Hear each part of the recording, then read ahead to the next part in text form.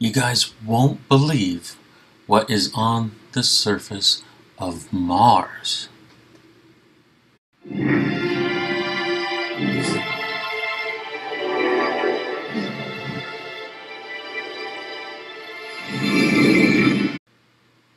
Everyone, this is Scott of ET Database.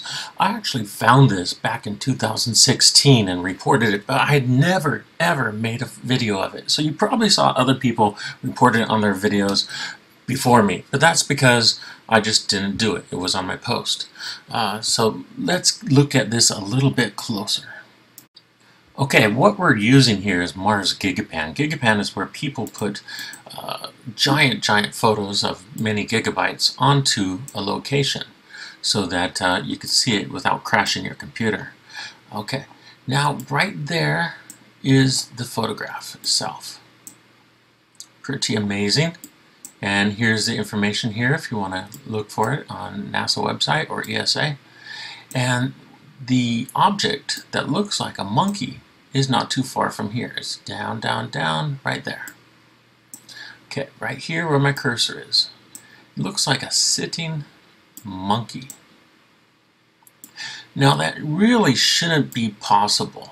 It really shouldn't be. And yet, there is a monkey right here.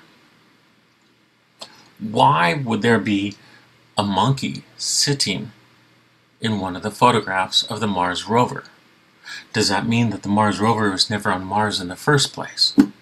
Does that mean there's life on Mars and Mars Curiosity just never wanted to report it? The, the Curiosity team, their, their job might be to hide it, to, you know, drop feed uh, the public information so that they will be appeased, that they won't demand more. Uh, just basic scientific facts every now and then could make the public happy and fund NASA with more money every year.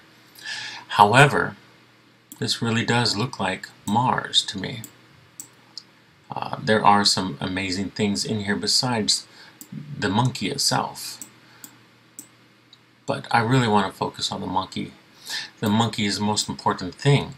Uh, there are some ancient structures and stuff in here, uh, but this is just crazy. What I'm going to do is take a screenshot of this and I'm going to adjust the color so you can actually see the fur on it. Hold on tight. This is just a screenshot, but it's on my photo program so we can adjust the lighting more easily. Let's adjust the focus. That's the more original color. How about this? Uh, that's more original color also. Uh, but if we zoom in with the original color, you kind of see a fur on it. Let's come up here and add light to it. Let's apply. Okay, you're beginning to see the fur, the, the bulk, bulkiness of this object. It actually looks like hair. Doesn't it look like hair? This object looks like it has a lot of hair. That doesn't look like rocks to me. That looks like hair. That's just kind of crazy, isn't it? That's just really strange. In negative format. There it is right there. Darken a little bit. See it like that. Strange. Okay, cancel. Here it is. Zoomed out. What is this big hairy thing sitting here? It looks a lot like a monkey. Doesn't it look like a monkey? It really does. So here's a monkey, and here's a picture to compare it to. Uh, this is from an old post from 2016 when I found it. Um, but here's a monkey, and it looks just like this monkey here. This is a macaque monkey from Taiwan. They're all from Taiwan. Anything you see in Japan was stolen during World War II. Those are Taiwanese uh, monkeys. And uh, this looks like a macaque also. When you add a lot of light to it, the monkey really stands out. It really does.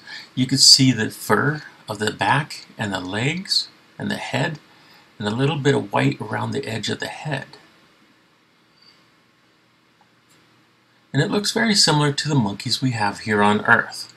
See how it's sitting See how the white along the stomach and the leg and the area here around the head, see the white on the head?